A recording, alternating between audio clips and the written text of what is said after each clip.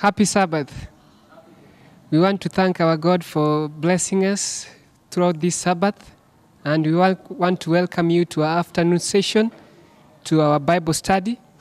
And before we begin, let's humble ourselves as we pray. Heavenly Father, we thank you for your mercy and love. We thank you for the opportunity to worship and praise your name. Even as we enter to our study, we invite the presence of the Holy Spirit to minister to us and also to our listeners. For we pray this through Jesus Christ, our Lord and Savior. Amen. Today, our study, we are going to study about science and the Bible.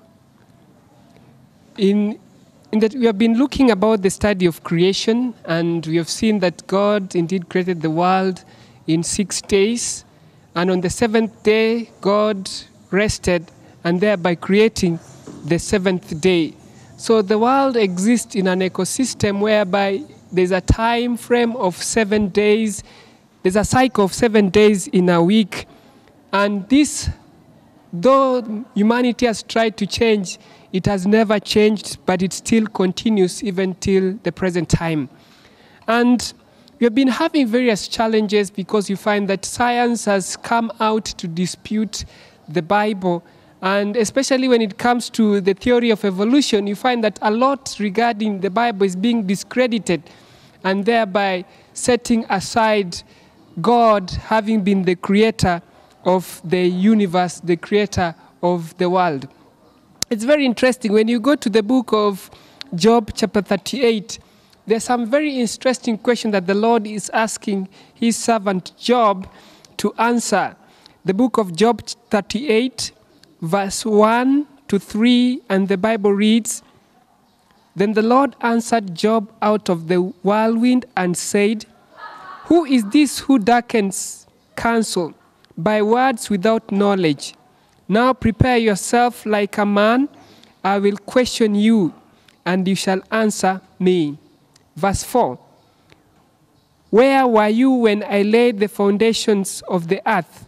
Tell me if you have understanding. Who determines its measurement? Surely you know. Or who scratched the linen upon it? And I'd like to jump to verse 31, and it reads, Can you bind the cluster of the Pleiades or loose the belt of Orion? These are the some of the various questions that if you, if try to see, sometimes science may not be in a position to answer.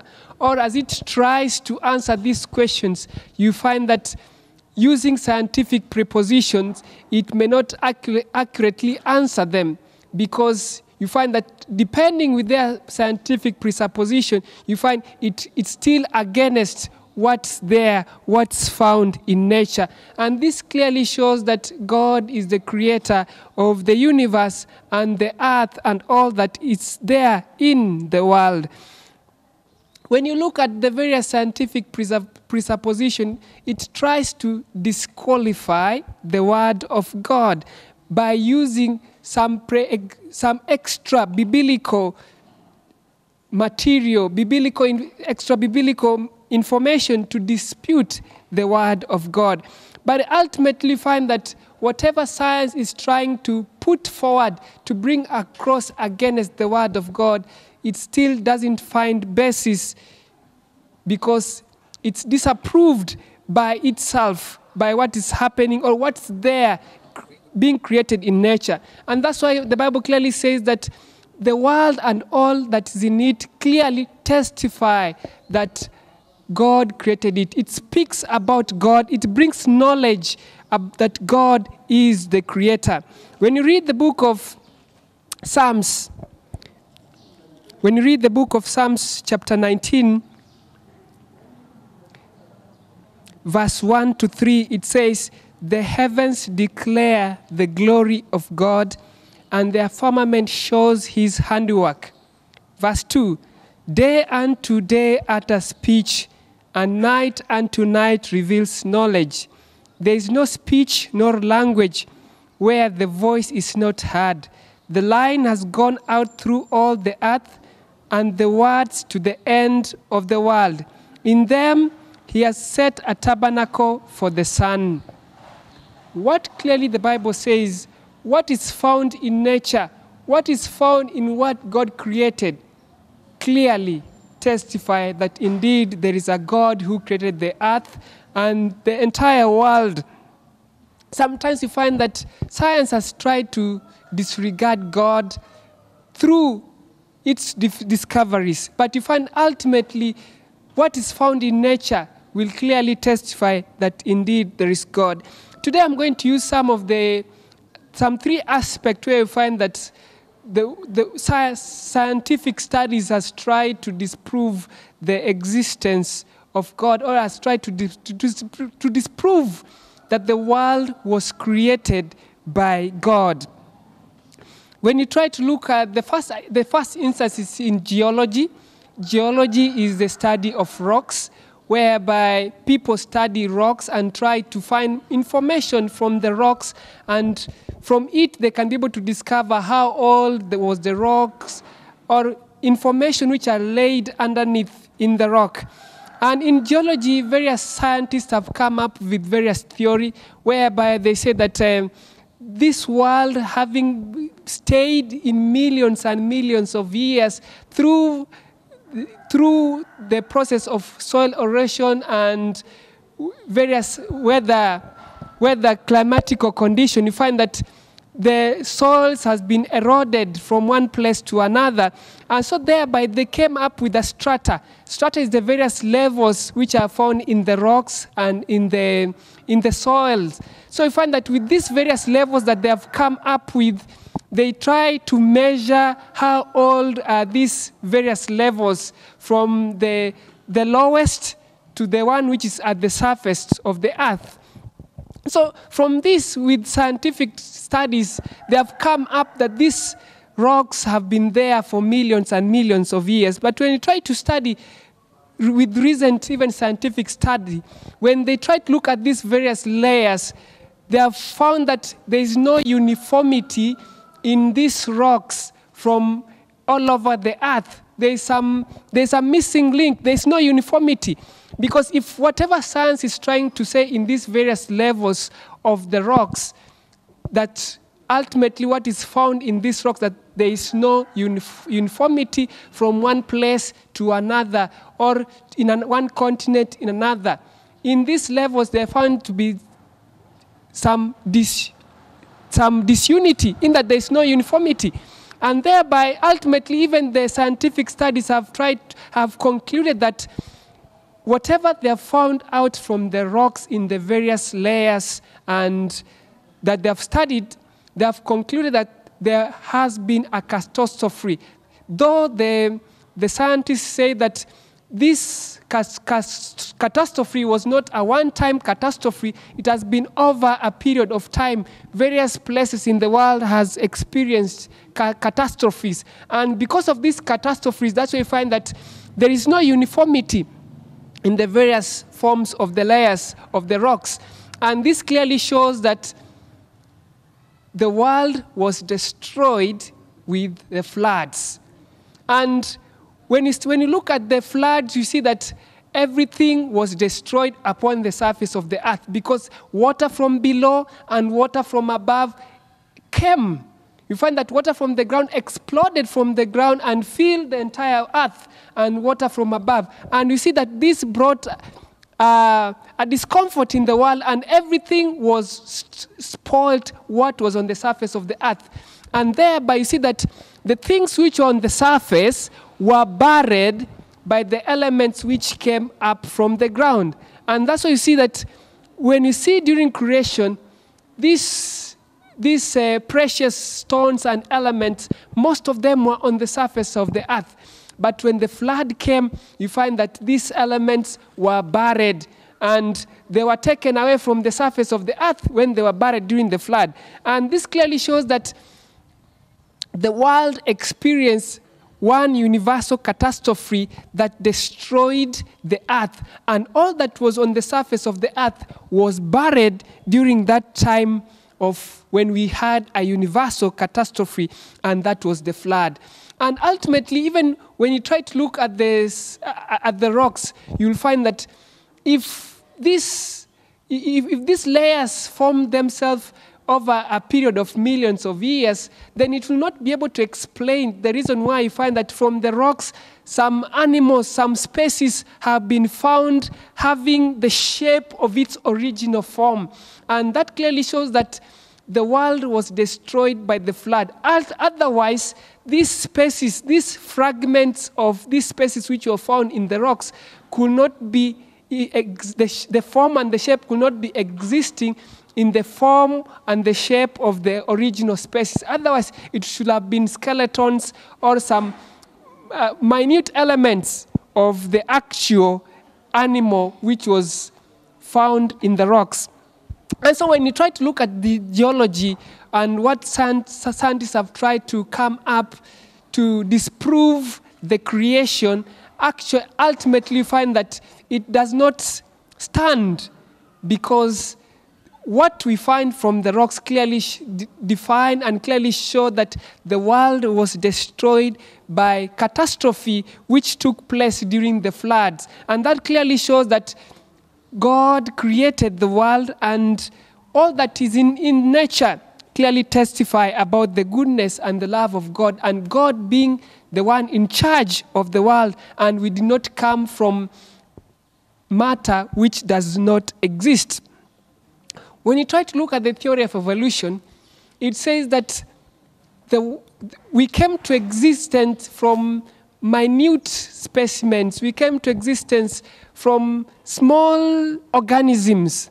And it clearly says that uh, the world came to existence by one of the theories is the Big Bang, in that there was a tiny matter which exploded. And when it exploded, it released a lot of energy into the surface of the space or the universe. And in that surface, when, it, when those matter which were thrown into far distant space, they condensed and cooled and then solidified, and then it became the earth. And then from there, we find that those small particles, as, as they continue growing, you find it continued growing from small organism, and then it became to larger organism, and ultimately to man.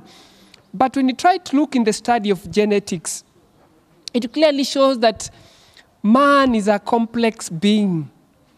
And it clearly shows that man did not come from a small organism. And one of the person who had, uh, who was the pioneer or who, who, who was very strong proponent of evolution is Charles Darwin. And from what he had written from his various studies.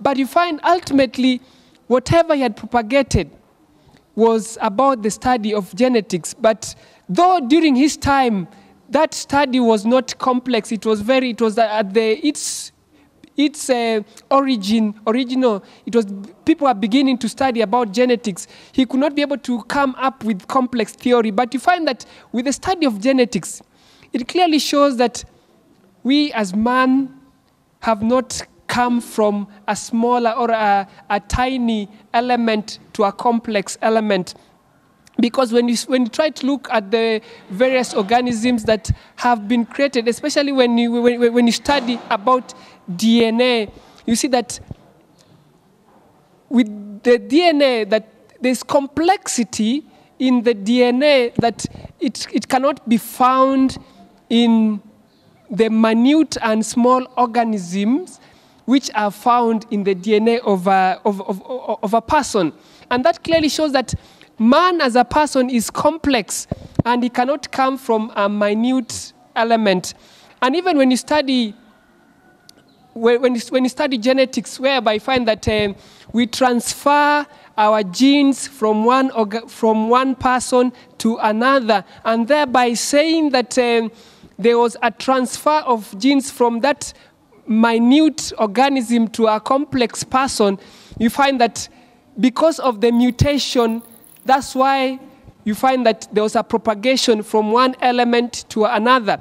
But when you, when you study about mutation, you clearly see that the genes that, that are being mutated, they are not they, they, they don't bring a good quality in a person or in an organism, but it brings the worst, the, the worst in an organism or a person, and ultimately a person is a person dies or that organism dies because of the gene mutation. So gene mutation does not bring about growth or moving from one species to another, but it brings about when a gene mutates, that organism dies because of the mutation of the gene, but it does not grow or develop or mutate to something else. And this clearly disproves what science says that when you mutate, when the gene mutates, it, it, it grows from one level and it becomes another element. But in actual, in actual sense, when there's a, a gene mutation, there's,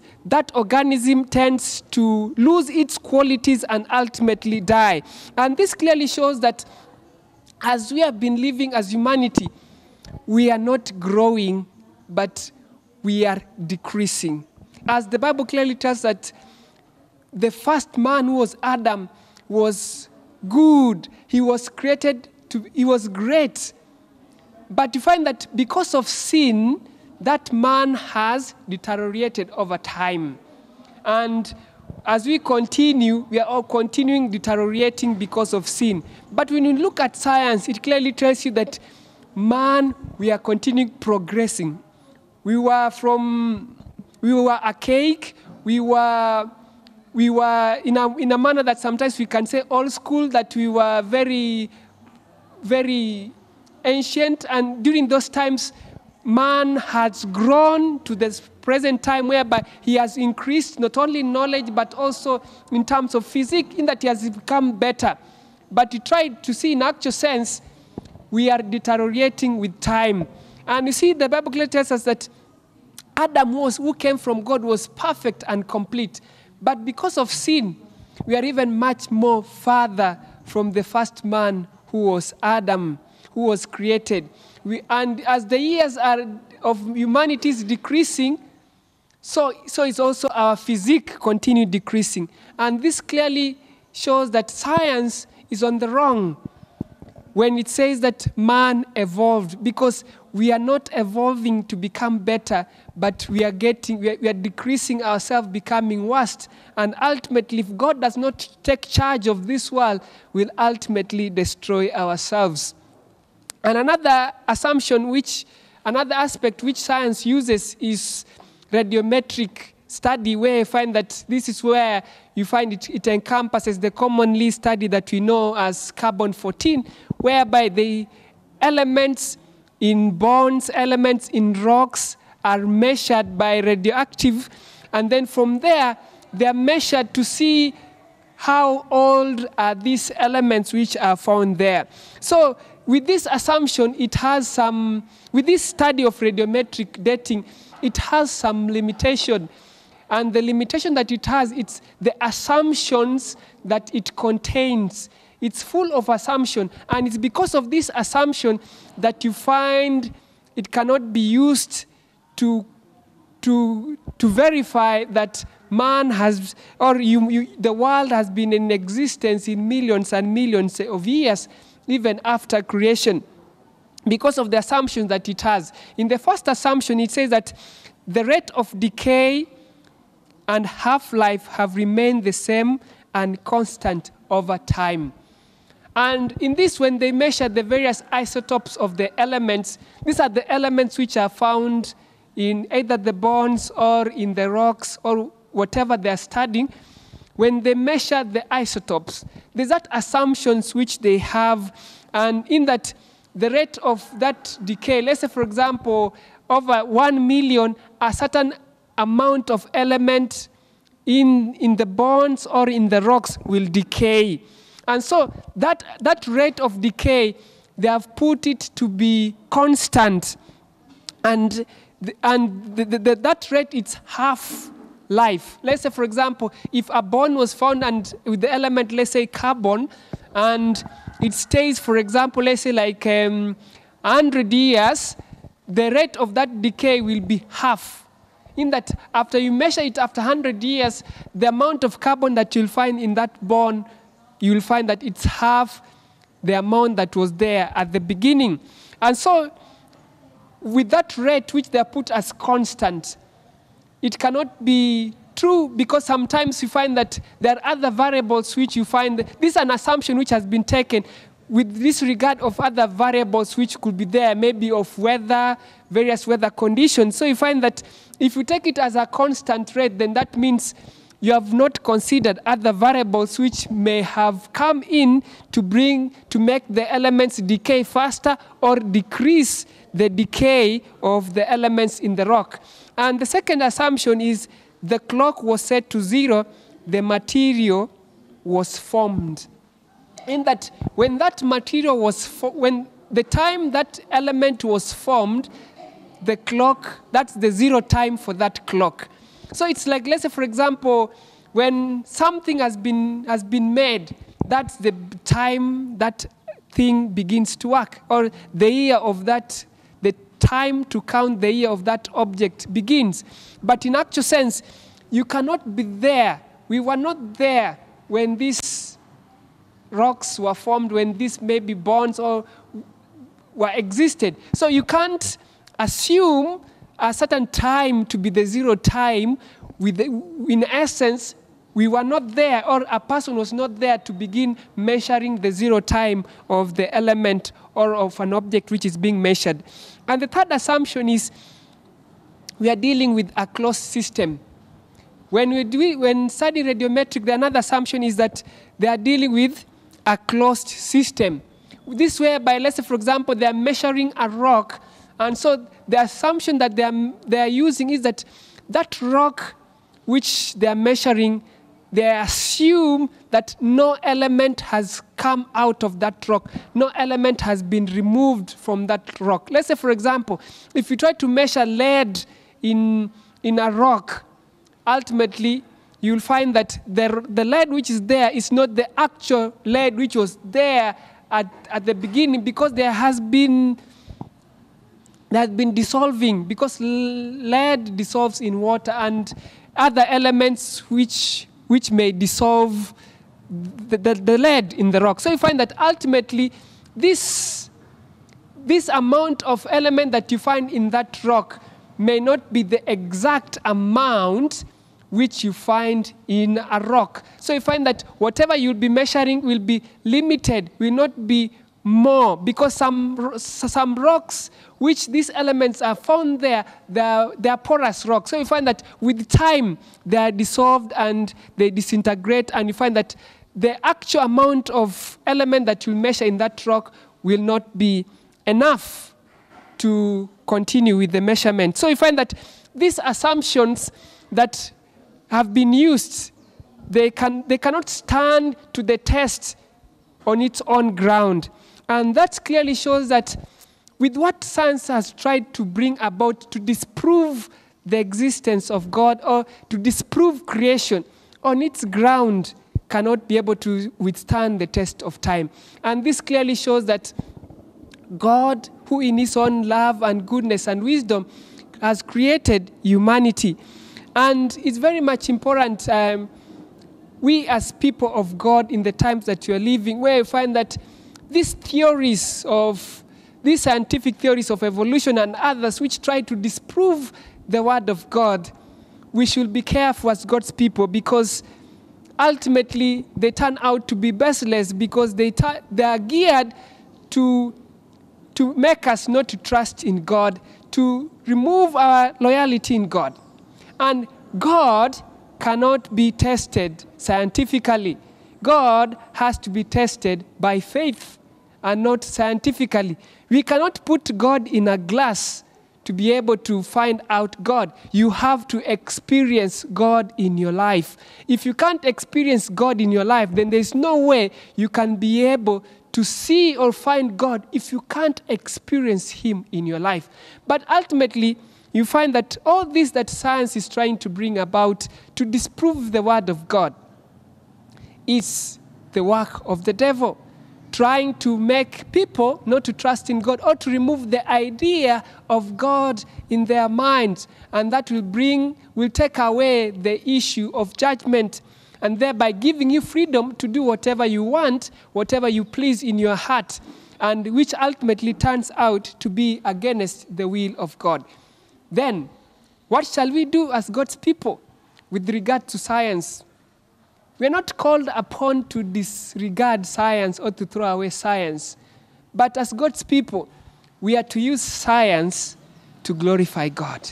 We are to allow science to help us to understand God's nature or God creative power and mighty.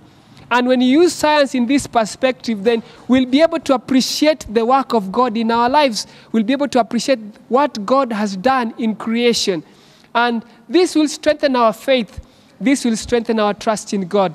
And this will help us to continue working in accordance to the will of God. And so, my dear friends, the time that you're living are hard times and challenging times because the world does not want to accept the idea of God. We want to ob- object to the idea of God in our lives. And by objecting to the idea of God in our lives, we think that we have freedom to enjoy this life and this world that we are living. But in actual sense, even with what we are seeing in our world today, it clearly shows that the world without God cannot stand on its own. The world without God will be a destroyed world. And the world without God will be a world whereby we ourselves destroy. But whatever is happening in the world clearly shows that God is in control.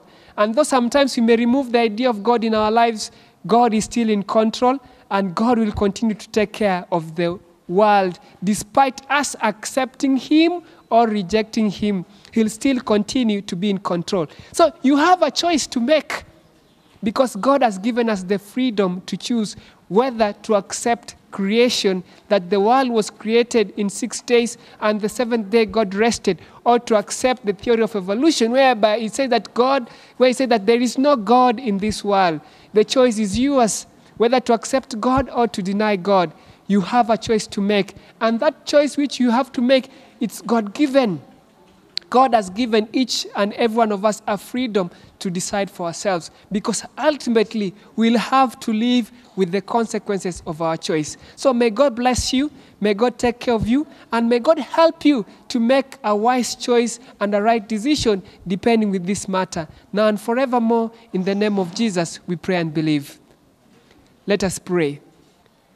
Heavenly Father, we thank you for your love and mercy. We thank you for the privilege to share of your truths. We want to commit our listeners unto your care. We thank you for the freedom and the power of choice that you have granted to each and every one of us. And help us, dear Lord, to choose you. Help us to accept you.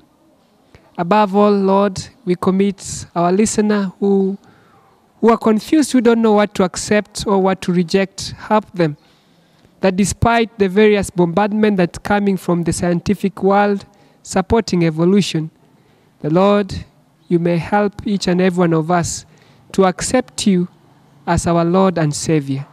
Be with each and every one of us now and forevermore. In Jesus' name we pray and believe. Amen.